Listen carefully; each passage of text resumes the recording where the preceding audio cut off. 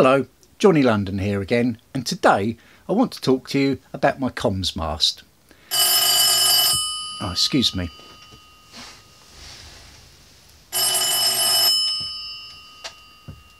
Hello? Hmm, I see.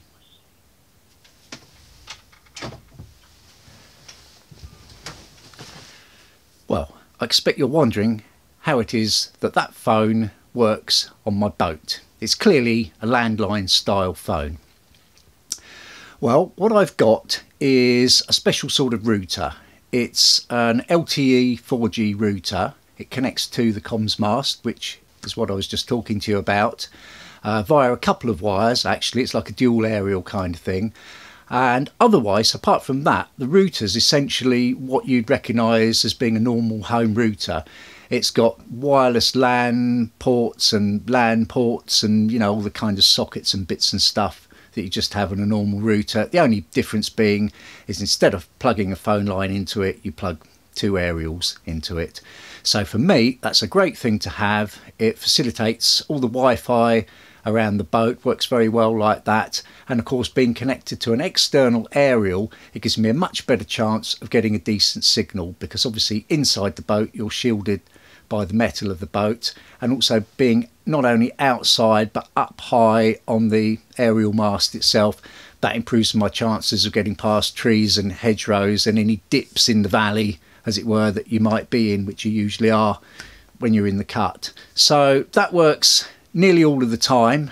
And um, if I get no signal on my normal handheld mobile phone I've always got that as a backup. I can usually make a call or receive a call on that so that's quite a handy thing to have. So I think what we'll do first is we'll go outside and have a quick look at the comms mast. I think I covered it in um, the first episode briefly but let's have a proper look now Okay, so out here you can just see the comms mast behind me. It's not as tall as it normally would be. There used to be a third section and unfortunately that went the way of all things and it's now at the bottom of a lock somewhere. Um, so I've just got the two sections now and at the top you can see the TV aerial. Uh, below that I've got the UHF aerial and below that is that LG ET 4G thing, whatever it is, uh, which does the broadband.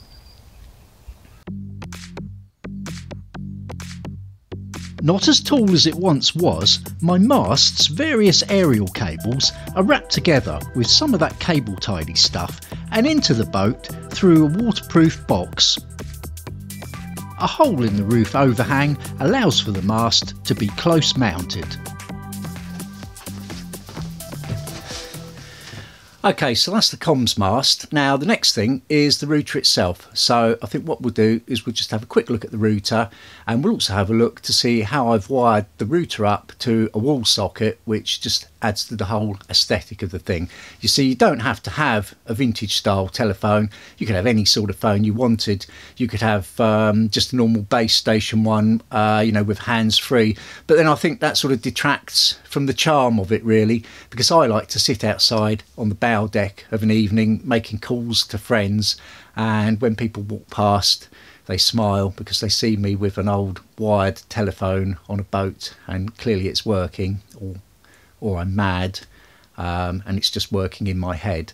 But in fact, it does work, so that's a good thing. And here's the router.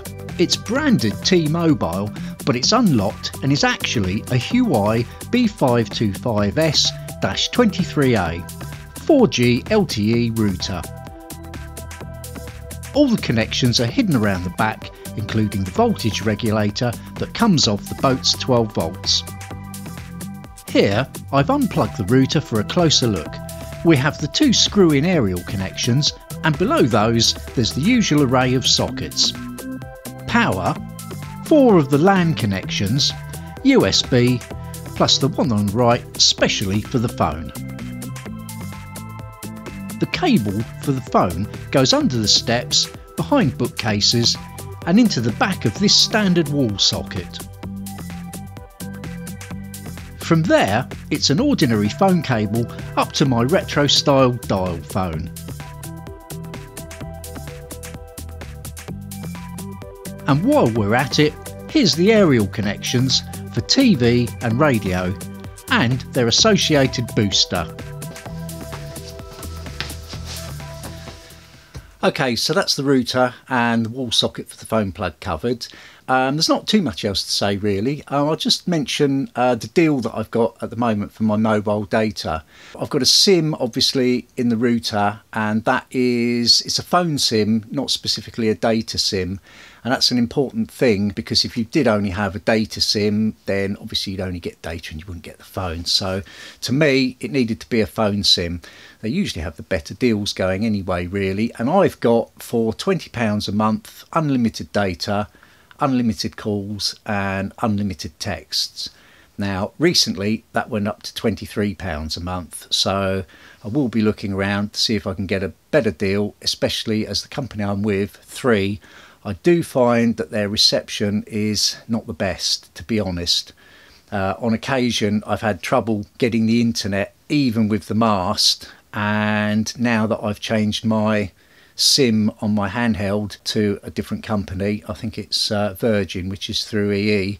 I'm doing a little bit better with that than I used to. So we'll see, you know, we'll have a shop around and see what I can get, but I've been too busy. So anyway, that about covers it. And um, anything I've missed, let me know in the comments and I'll try and answer. So stay well, keep safe, and I'll see you soon. And here are the costings for the whole lot. The TV aerial was $16.95. The radio aerial was £15 and the 4G aerial was £69. The Caramast came in at $25.95 and the aerial booster was £18.